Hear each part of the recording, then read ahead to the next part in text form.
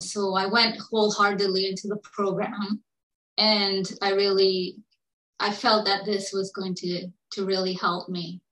Um, so actually, a year before that, I had you know because I was doing my own kind of research on um, these different symptoms, and uh, I had come across you on you know your website and YouTube, um, and I actually had done the the week long uh, program that you offer, mm-hmm.